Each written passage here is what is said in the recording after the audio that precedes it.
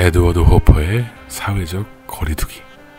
에드워드 호퍼가 사회적 거리두기를 그림으로 표현했던 이유는 이유 있는 그림. 안녕하세요. 남상스 스튜디오 남상입니다. 여러분들, 한국 사회의 1인 가구 비율이 얼마나 되는지 아십니까?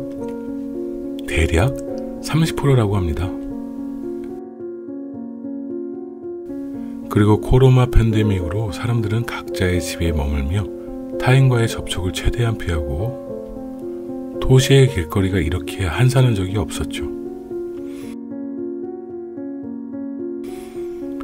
사회적 거리두기가 장기화되면서 외로움, 우울감을 느끼는 사람들이 상당히 많아졌습니다.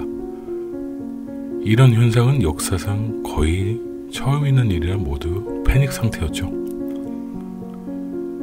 이러한 우리의 현실과 유사한 상황을 그림으로 표현한 화가의 작품을 그려보려고 합니다. 지금 그리고 있는 그림은 호퍼의 오토맷이라는 작품입니다. 오토맷은 예전에 무인으로 음식이나 음료를 팔던 레스토랑을 말합니다. 20세기 미국의 사실주의 화가 에드워드 호퍼는 미국인들이 가장 좋아하는 화가 중 한 명이며 그의 작품 일부가 천억 원이 넘는 고가로 팔릴 정도로 대중적, 예술적으로 인정을 받고 있죠. 그는 리얼리즘 화가로 분류되지만 단순히 현실을 사실적으로 그린 것이 아니라 텅 빈 도시 풍경과 고립된 인물을 통해 독특한 인간의 심리적인 분위기를 창출합니다.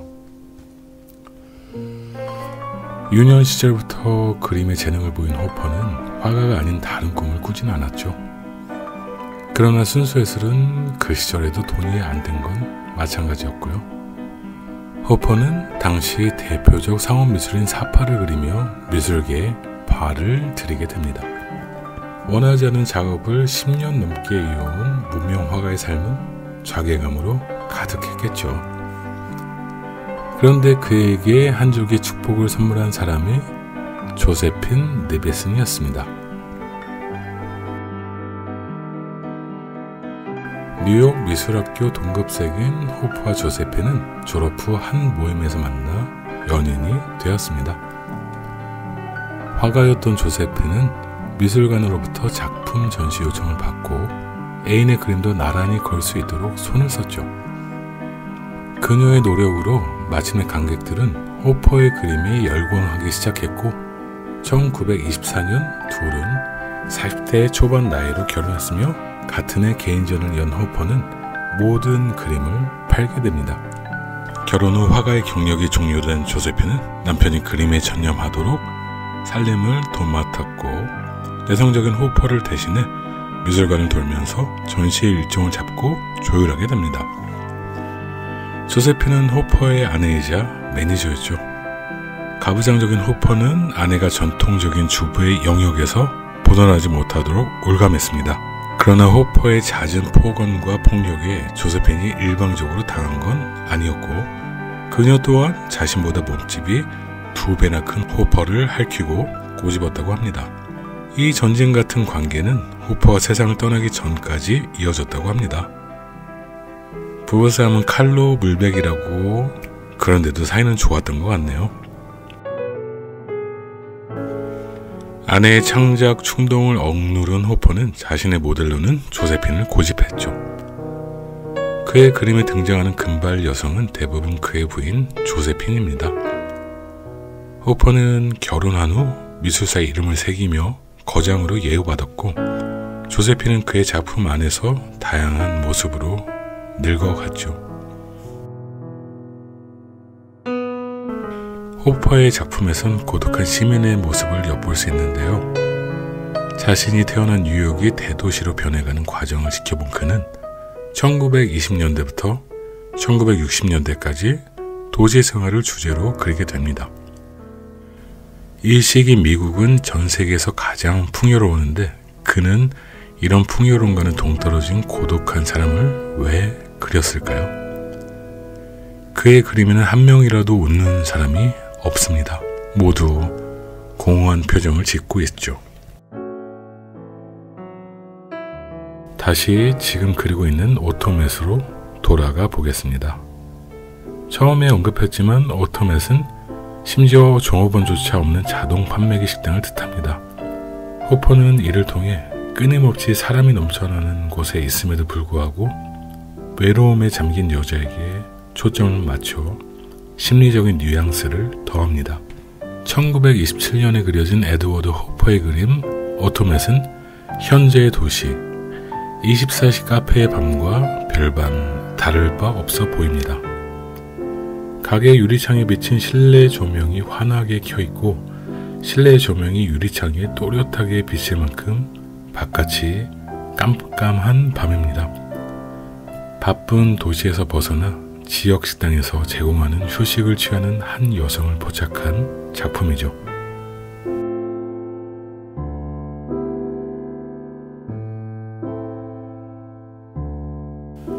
히터와 여인의 두꺼운 옷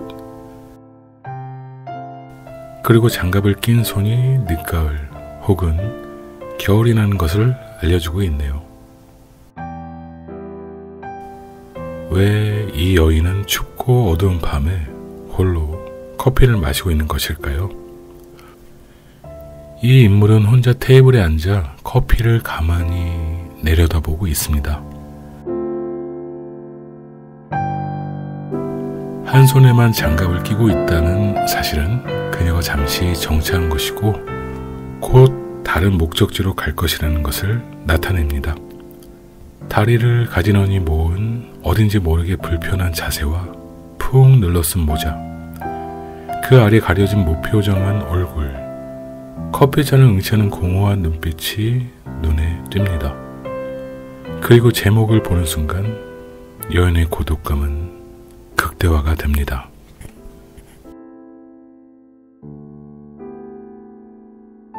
맞이하는 사람도 없고 마주하는 사람도 없는 이곳에서 혼자인 사람들은 혼자가 되는 고독을 재차 확인을 합니다.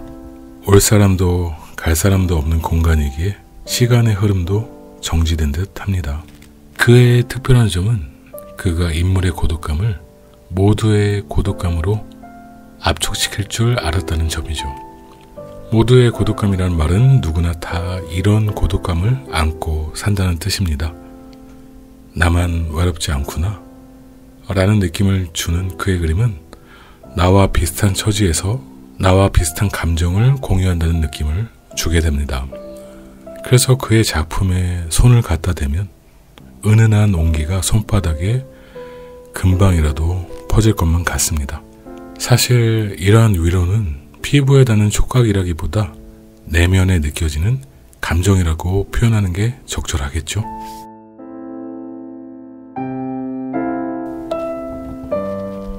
고독은 경험해본 사람이 가장 잘 아는 것일까요? 에드워드 호퍼는 계속해서 무명 화가의 신세로서 30살까지 단 한 작품도 팔지 못했죠.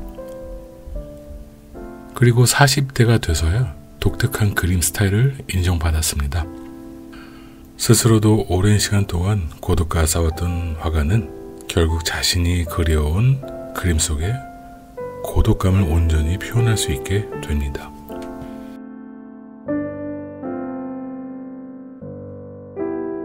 그의 그림은 외로운 나와 외로운 너를 마주하게 됩니다.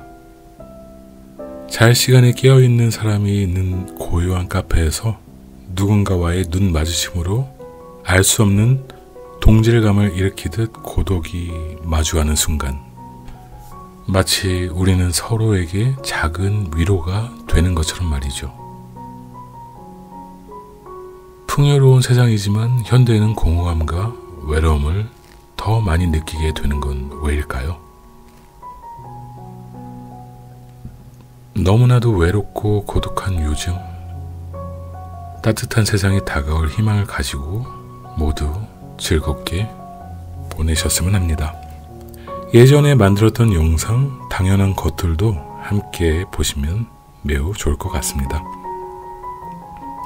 이어 있는 그림 인간의 고독감과 외로움을 그림으로 표현한 에드워드 호퍼의 오토맨 재미있게 보셨습니까? 다음에도 또 재미있는 그림으로 만나요. 오늘도 시청 감사드립니다.